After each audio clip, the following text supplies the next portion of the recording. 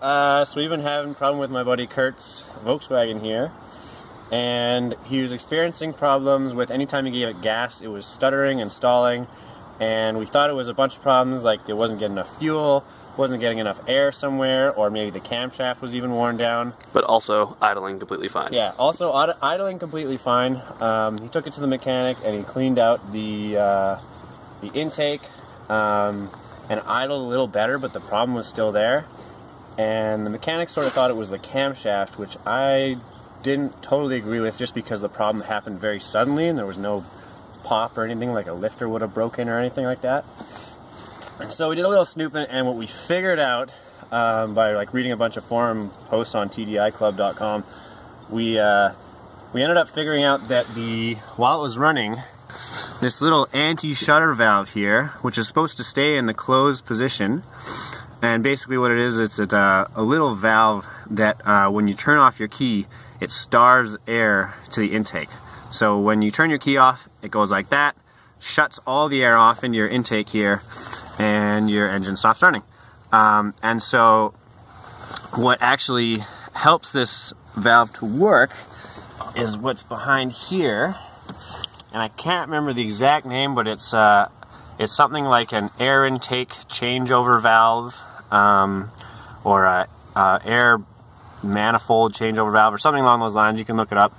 Um, but basically, this is what's on his car right now. We switched another one from a good working TDI in it, and it cured the problem instantly.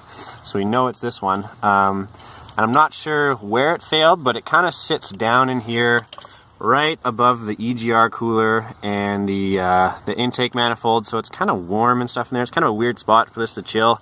Just kind of clips into this little hose clampy thing here. But um, yeah, so anyways, if you're having problems with your Volkswagen stuttering under gas, uh, but it's idling fine, um, and I'll show you show you where the anti-shudder valve for his was sticking. So this is it fully open, and this is it fully closed. And while his car is running, it's basically sitting right here. It's just barely almost closed.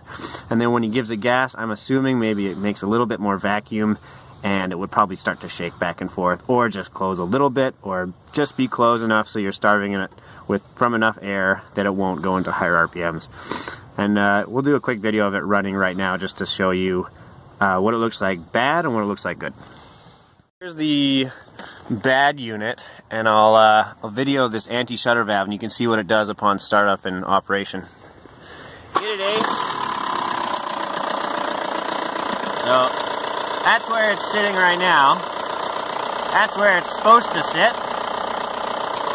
And uh, Kurt, you want to get a little bit of gas? So that's with the anti-shudder valve, and as soon as I open it, there you go. So there's your problem. Thanks for helping, Brent, but you gotta go to work. A little bit of man love. Always. Yeah, come here. I want one of these. Thanks, buddy. See you later. See you, bud. So old Curdy's gonna start her up with the uh, the working unit right here, and we'll show you what happens with this anti-shudder valve. So right now it's fully open. Ready? And it stays open.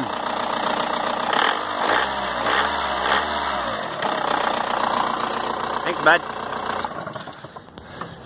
So, if you're having that problem, that's your solution.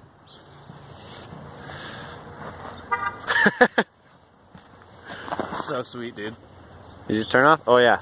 Keep your stick on the ice, eh? Yeah, don't uh, take uh, snow from strangers.